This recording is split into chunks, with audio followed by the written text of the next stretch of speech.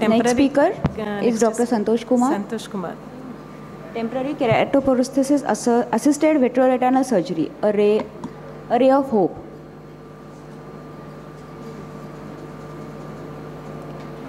Not there.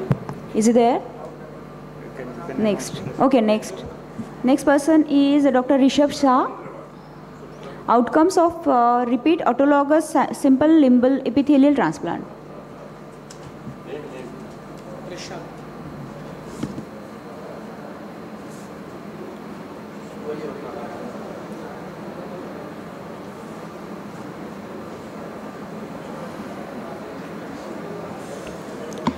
Good morning, ladies and gentlemen. Today I am going to be discussing the clinical outcomes of repeat simple limbal epithelial transplantation for ocular surface burns. I have no financial interests or conflicts of interest to disclose. So we all know that the stem cells in the limbus are at constant rate of division and they divide and mature and migrate over the corneal surface. Any insult to the limbus in the form of injury or chronic ocular inflammation can lead to stem cell deficiency and result in the loss of corneal transparency.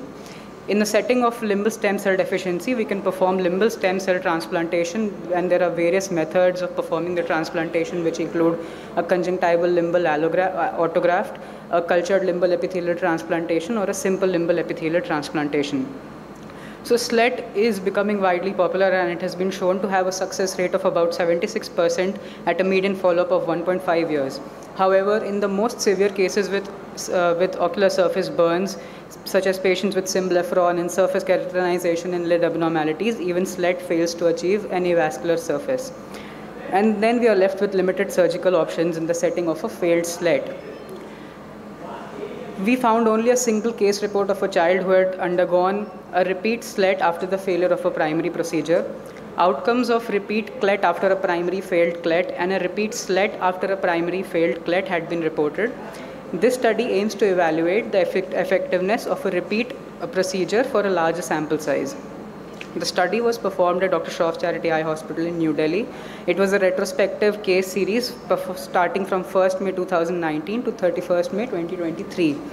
The study the, so we chose patients who were undergoing a repeat autologous stem simple limbal epithelial transplantation uh, performed by a single surgeon with a post-op follow-up of six months. Then the evaluation of outcomes included visual acuity, recur- recurrence of the LSCD, complications to the donor eye, and improvement in contact lens fit. The inclusion criteria was patients with uniocular, unilateral ocular surface burns with total LSCDs and patients with partial LSCD and uh, LSCD resulting from other causes other than ocular surface burns were excluded.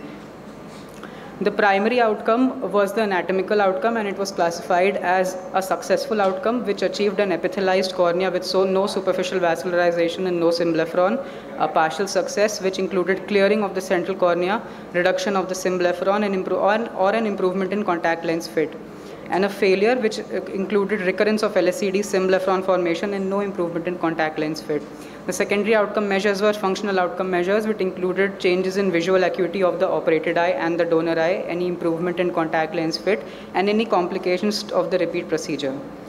So we reported the outcomes in the form of means and proportions, and then we draw survival analysis plots based on the outcomes of the study.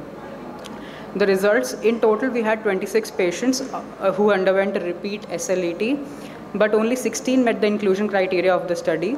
The mean age of the patients was 20 years. The mean duration of the follow up for this study was 17.3 months.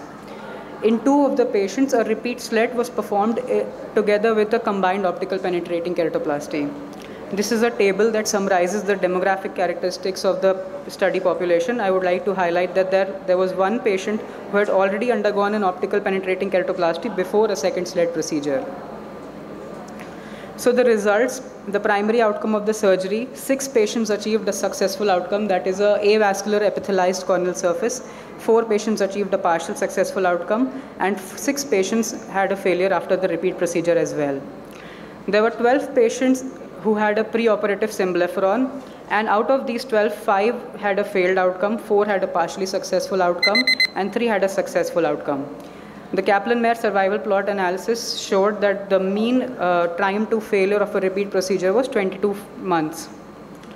Among the secondary outcomes, there was visual improvement in six patients, no improvement in visual acuity in six, six patients attributable to stromal scarring, amblyopia, and PR inaccurate status preoperatively. And worsening of vision was noted in four patients, which was because of keratitis following the SLET. Improvement in contact lens fit was seen in six patients. There was no change in BCVA in any of the donor patient eyes. There were no intraoperative complications noted. The most common complication of the procedure was the failure of the procedure. In one patient, there was retained fluid under the amniotic membrane within the first week, which was managed conservatively. In one patient, there was focal LSCD at the biopsy site in the donor eye, but there was no change in the visual acuity. Keratitis turned out to be a common complication of the repeat procedure. And uh, three of whom had sterile columents, while one had a staphylococcal keratitis. In discussion, our stud, the stud, Uh, Conclude, please. Okay. I would just like to highlight one point that keratitis turns out to be a free, more frequent out, uh, complication of repeat SLET as compared to a primary SLET. We hypothesize that because these patients tend to have uh, extensive symblepharon tissue preoperatively, which contributes to the vascular supply of the anterior segment, dissection of this vascular tissue uh, compromises the anterior uh, circula- uh, the vascular, supply, vascular supply of the anterior segment and predisposes to keratitis. Thank you. Why uh, amniotic membrane was not, I mean, did you use amniotic membrane Yes, with yes. this? Yeah? I, I mentioned that in one Yeah. patient there was fluid retained Fluid, under the amniotic But membrane. remaining people, I mean, remaining patients? No, no, we used amniotic membrane in And all with- of the patients. and but with one patient there was fluid under the amniotic membrane in the perioperative period. And from where you got this SLET? Harvested from, From the other eye, we included patients with unilateral LSCD only for this study. okay. Thank you, Dr. Rishabh. Uh, was there any modification in the technique of SLET when you repeated it?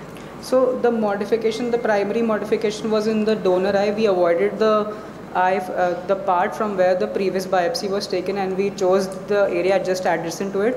With respect to pannus dissection, there wasn't much modification, but I would say that dissection of the pannus in these cases is more difficult than in primary cases because there's already a lot of fibrosis, and these are more severe cases of ocular surface injury. True. You didn't try mucous membrane graft?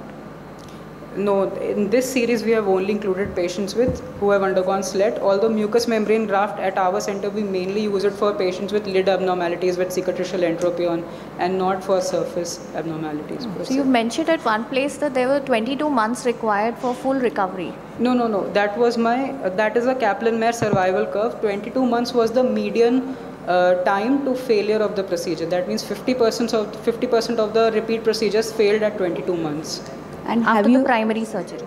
after the second surgery. After my But repeat your, surgery. uh, your study, your uh, average duration of study was 17 months. Yes, average was 17 months. However, the time to median time to failure was 22 months. 22 months. and have you tried tenonplasty uh, in this case? Plasty, ma'am, uh, no, at our center we prefer, mostly we do not do plasty unless and until we do it in patients who present acutely with, with more scleral ischemia. But these are mostly patients who have had multiple years after the injury and the surface is already covered with symblepharon. Thank you.